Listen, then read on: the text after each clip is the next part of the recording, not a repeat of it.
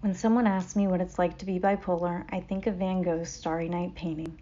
When you're bipolar, it feels like you're standing outside, staring up at the stars in the sky amongst a group of neurotypicals. But for every star they see, you see another. Brighter stars, larger stars, stars of all shapes and colors. When they ask you why you see them, you are surprised that they don't. Suddenly you realize that you're different.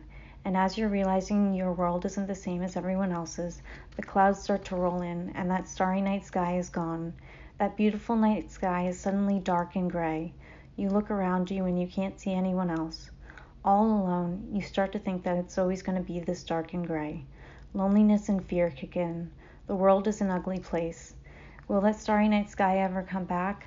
Will you ever see another person again? And in those dark moments, when nothing feels right, and you're starting to doubt life itself, the clouds start to dissipate and the stars you thought you'd never see again start to come back. It's so beautiful that you want to take in every moment of it. It feels as if you can finally breathe again.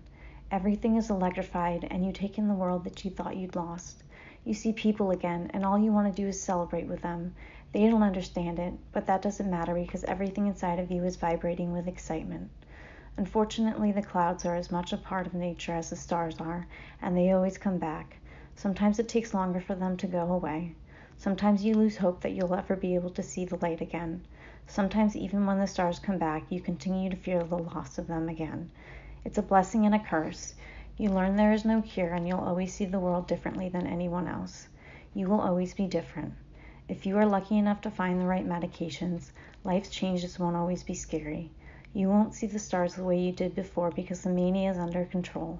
You won't be so scared when the clouds roll in because the depression becomes more manageable. It's the same world, it's just easier to manage. While I miss the beauty of the stars that I was born to see, I've found the intensity of my emotions when unmedicated keeps me from being able to connect with other people. Because of my experiences, I am a stronger person. I have seen the world in all of its beauty and ugliness.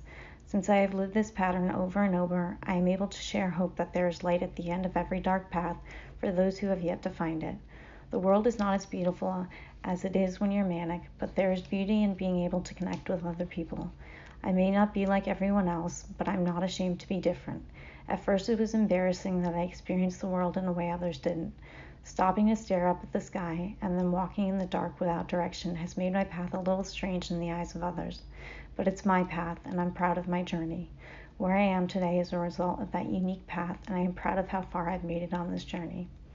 I am bipolar.